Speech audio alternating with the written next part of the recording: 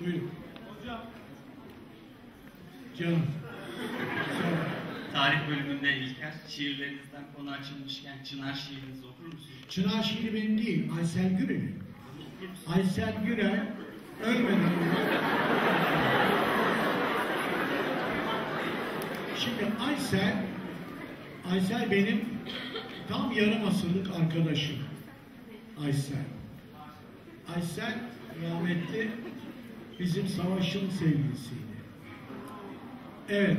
Bir, bir de benim bir kız arkadaşım vardı. Dördümüz Aysel'in bir oda bir salon bir evi vardı Karagümrük'te. Çarşamba'da. Müjde ilkokul 2'ye gidiyor. Mehtap 1'e gidiyor. Siyah e, e, önlükler, beyaz yakalı böyle. Onlar işte odaya küçük odaya giderler, ders çalışırlar. Biz de tiyatrodan çıkar geliriz. Sabahlara kadar sohbet ederiz, konuşuruz filan. Aysel benim çocuğumun doğmasına sebep olan kişidir.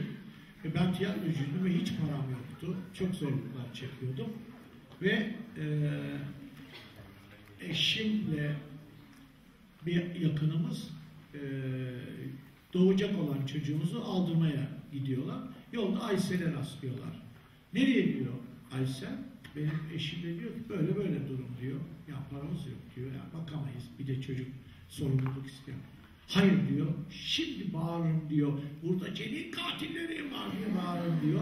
Ben iki tane kız çocuğu büyütüyorum, büyütmekteyim. O kızı da büyütürüm diyor.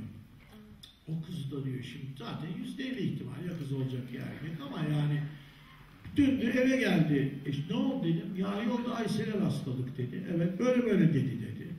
E peki kısmet dedim. Elif doğdu benim kızım doğdu. Elif bu anekdotu hiç unutmadı hep bilirdi.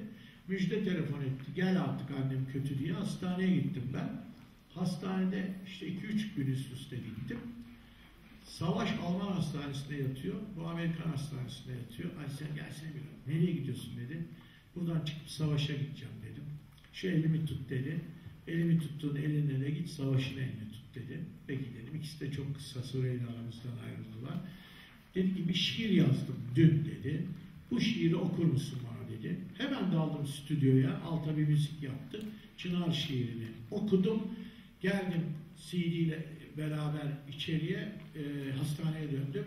Müjde dedi ki e, artık dinleyebileceğini sanmıyorum yoğun bakımda dedi. O gün de kaybettik Aysel'i.